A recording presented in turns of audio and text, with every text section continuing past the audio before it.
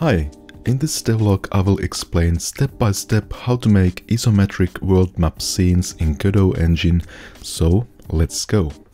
The first thing we need to understand is how straight lines work in isometric projection.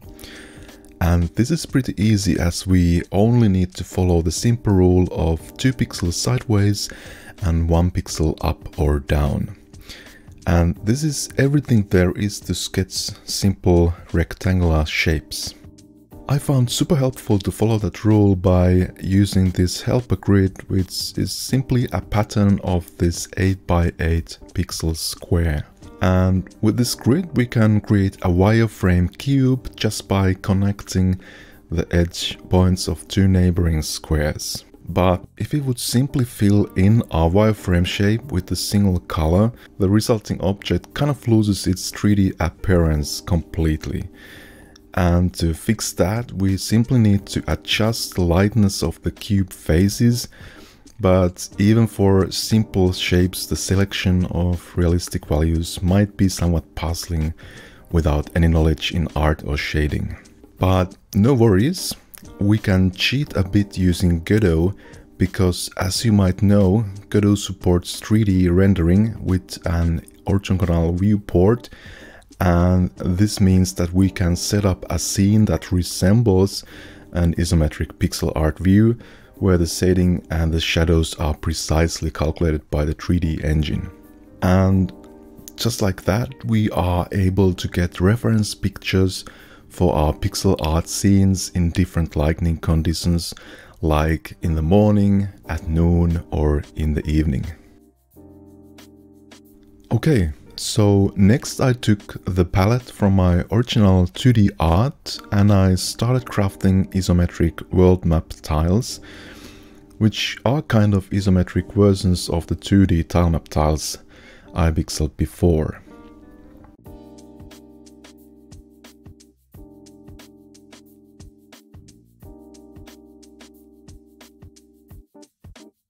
And then I added some ground texture to the tiles so that I can later lay paths along which a player can navigate from level to level. Okay, so now that we have the tile sprites ready, let's go to Godot and create the first isometric tile map. Here I first add a new scene and change the default type of node 2D to the tilemap node. After that it is important to set the tilemap mode to isometric and set the cell size to be compatible with our tile sprite size. This gives us already an isometric grid where we can then later insert the tiles. So next, let's create a new tileset and import the tile sprites. I made here a manual effort and created new single tile for each sprite, which might get cumbersome if you have a larger set of sprites. So if you know a faster way to do this, please let me know. Okay, then back in Godot we can already start laying the tiles but as you can see we have a problem here because there is this slight y-axis offset in the original sprites.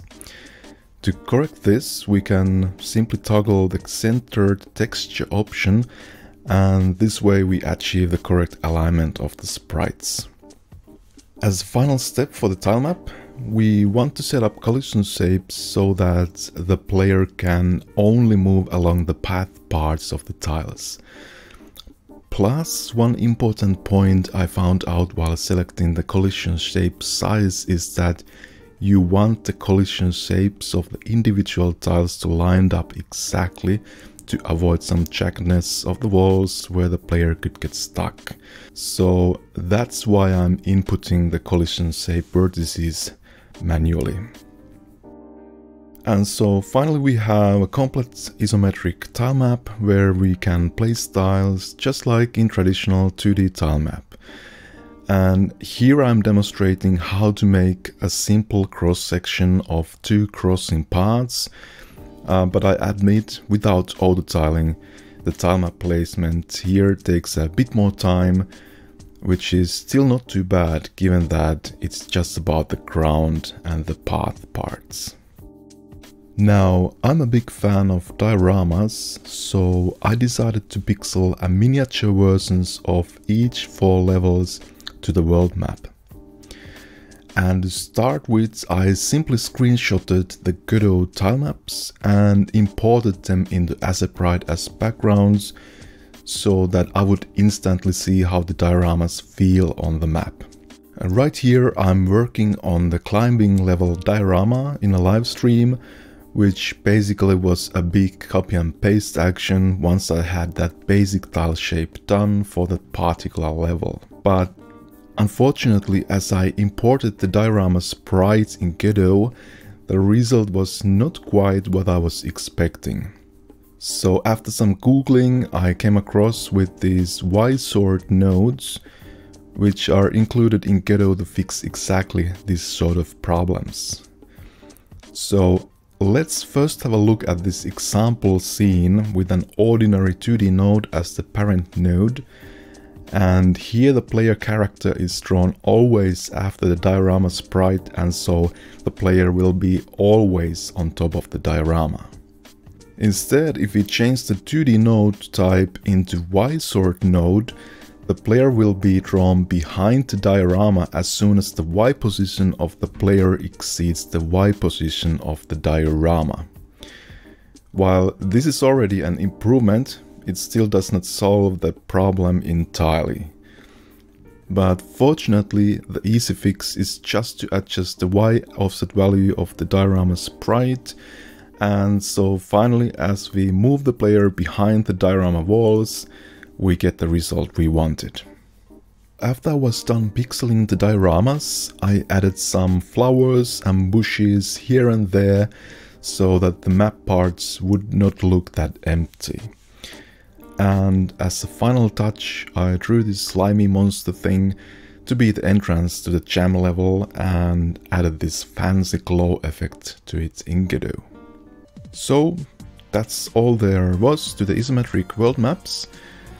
I hope this devlog was helpful to you and I'm looking forward to see you in a follow-up video.